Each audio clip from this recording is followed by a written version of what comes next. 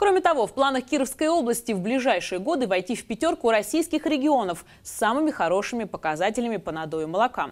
Для губернатора Никиты Белых это важно. Сегодня глава региона провел полуторачасовую пресс-конференцию для журналистов со всей области. Ответы на важные вопросы услышали и мы с оператором Антоном Мамаевым.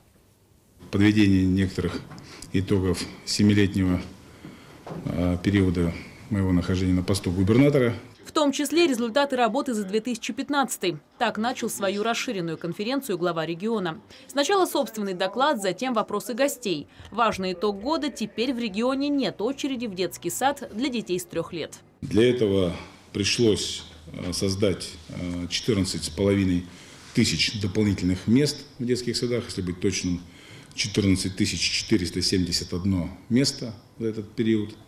Построено 24 новых детских сада, проведена реконструкция более чем 250 зданий детских садов в целом по области. Другие итоги – за плечами открытия четырех культурно-развлекательных центров в Кирово-Чепецке, Яранске, Слободском, в Стрижах. Из спортивных объектов лыжно-биатлонный комплекс «Перекоп», что официально откроется на днях. И, конечно, достижение, наконец, начала строительства путепровода в чистые пруды. А, уже 500 миллионов рублей в прошлом году было освоено строительство ведется. Те, кто, собственно говоря, проживает в областном центре, могут в этом убедиться. Наша задача э, этот проект продолжать реализовывать. Это будет связано, с, естественно, непростыми переговорами с федеральным центром, потому что строительство ведется за счет федерального бюджета, федерального дорожного фонда. Но я надеюсь, нам это удастся сделать как удалось в этом году перевести в федеральное ведение дорогу Пермь-Киров-Кострома. Ее 420 километров теперь не потребует многомиллионных вложений из областного бюджета.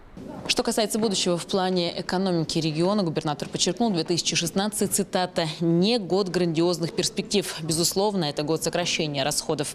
Никита Белых рассказал, что в будущем году планируется оптимизировать структуру многих бюджетных организаций. Ожидается сокращение на тысячу человек, причем планируется планируется приобщить к экономии именно муниципалитеты Кировской области.